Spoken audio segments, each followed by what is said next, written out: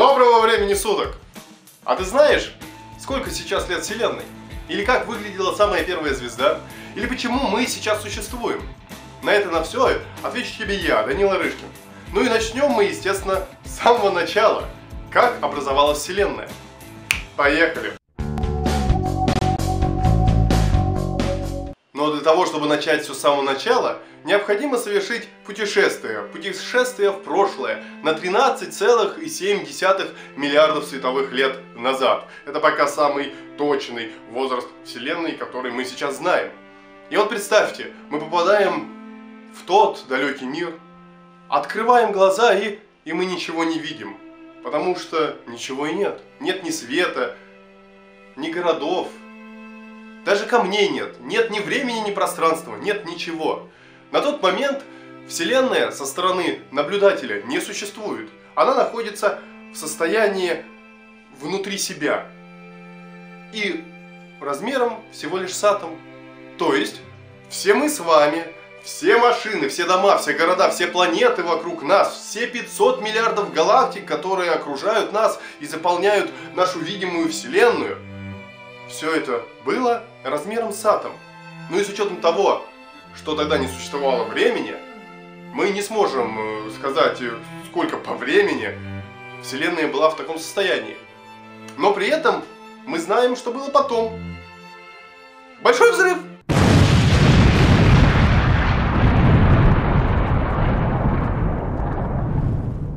Да-да, именно старина Большой взрыв, тот, о котором рассказывают в школе. Но при этом хотелось бы сделать одну ремарку.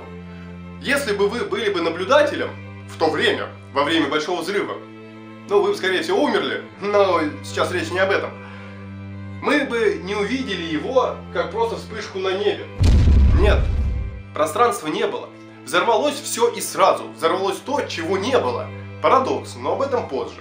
Так вот, наша Вселенная, наш энергетический туман размером с атом после расширения уже за одну триллионную секунды расширился до объемов апельсина.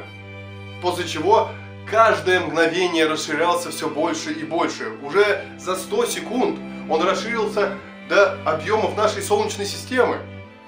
До триллионов километров поперечке.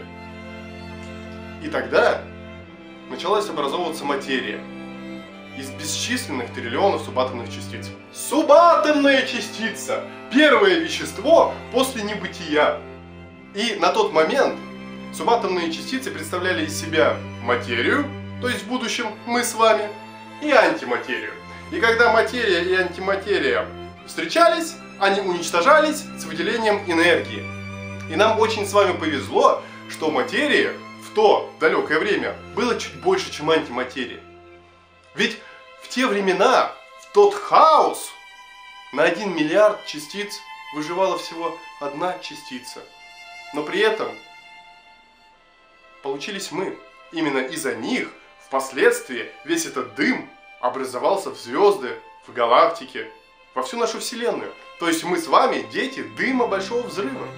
И когда-то давным-давно мы все были слишком близки друг к другу, пока нас не раскидало по миру, по времени и по пространству.